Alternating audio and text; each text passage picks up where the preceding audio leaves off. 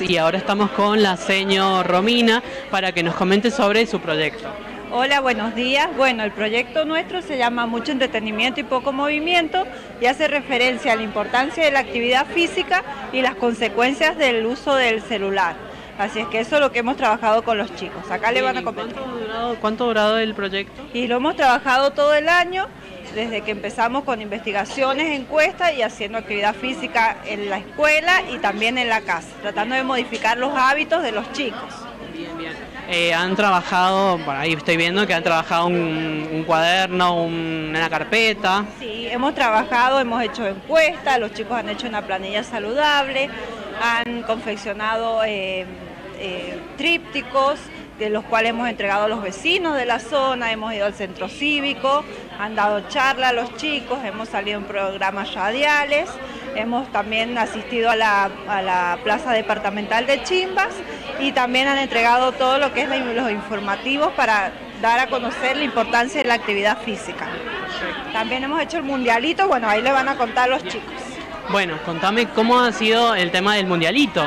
El mundialito fue que cada alumno... Eh, cada grado iba de cada país. Nosotros lo tocó Argentina, el quinto A y quinto B Argentina. Bien, y bueno, ¿y cómo, cómo fue que jugaron? ¿Cómo, cómo, cómo fue ese día? Eh, jugamos todo, pero quinto A y con quinto B.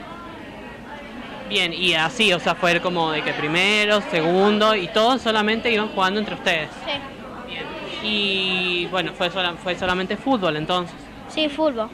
Bien, eh, bueno, y cuéntenme cómo, cómo se han sentido con, el proyecto, cómo se han sentido trabajando con esto. Bien. Bien, y bueno, cuéntenme, han estado haciendo, ¿cuántas veces han estado haciendo ejercicio? Eh, dos veces por semana. Y bueno, y además, ¿qué, qué, qué importancia tiene hacer ejercicio eh, para una persona?